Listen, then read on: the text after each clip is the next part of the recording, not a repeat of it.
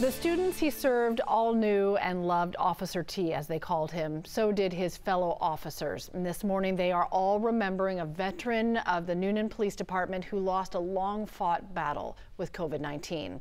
Officer Ricky Tottenson was with Newnan PD for 10 years and in law enforcement for nearly two decades. He most recently worked as a school resource officer at Evans Middle School, where the students really looked forward to seeing Officer T every day. The department shared this sign outside of Evans Middle that reads, We love Officer T. Newnan's police chief says Officer Tottenson really looked forward to being with those kids every day. It made him love going to work.